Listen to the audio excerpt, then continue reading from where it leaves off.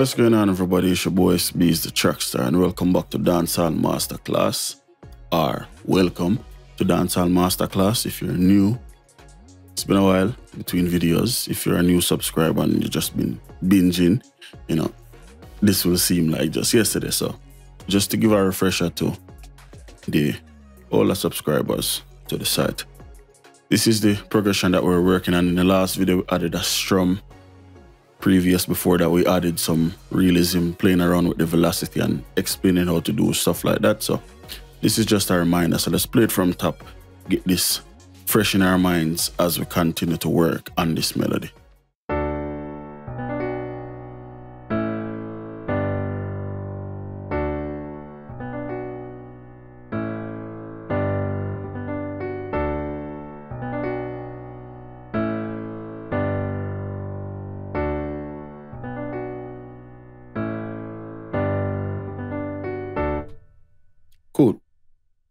So what we are going to do today. So today we are going to add to this melody because we have a good foundation.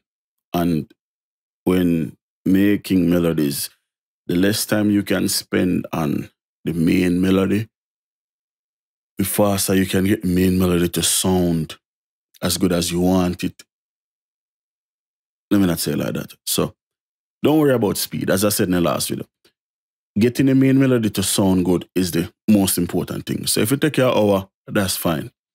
Speed will come with time. Cool. So I feel as though we have a good foundation here with this piano melody.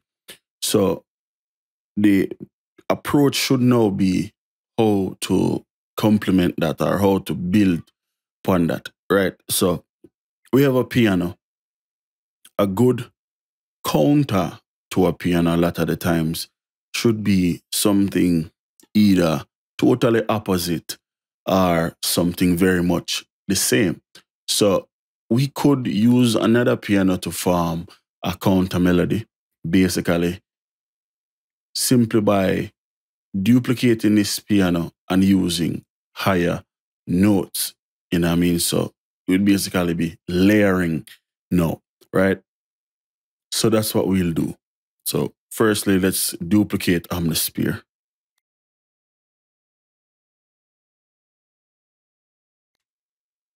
And due to the fact that FL Studio has the benefits or the help of ghost notes, you can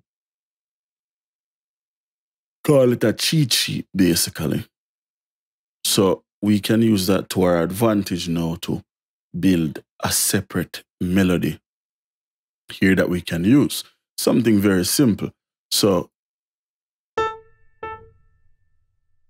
as we already know all the notes, let's just do something very simple.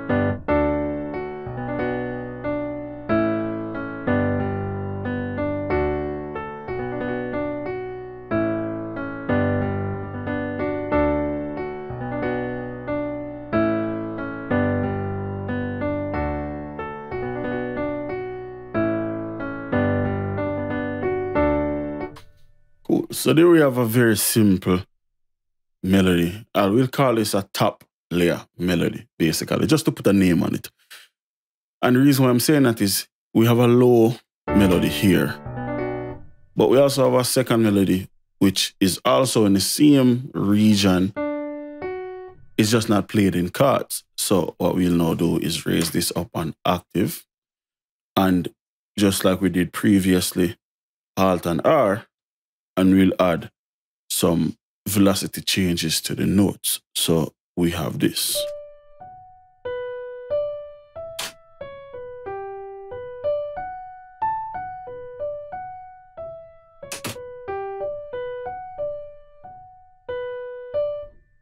Cool. Press accept. Now if we put this back with the other melody,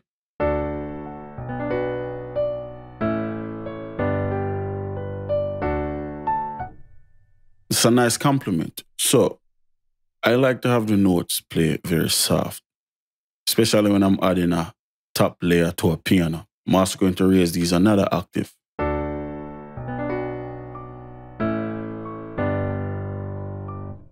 Now, another thing that I'm going to do, and I spoke about this earlier, is mixing while building.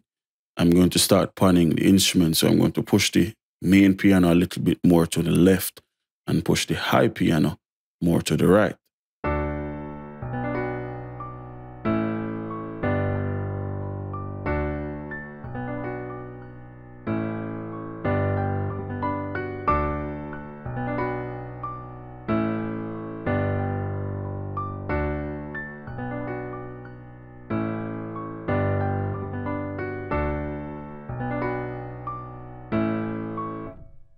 And we have a, a very nice complement to the piano. Cool.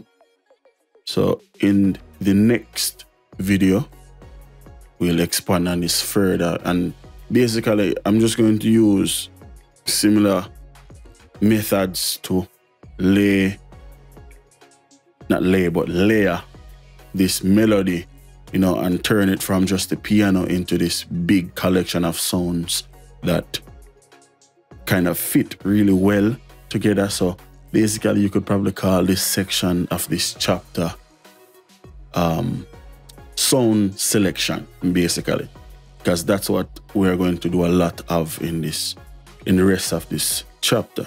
So until next time, it's your boys, Beez, the TrackStar. Peace.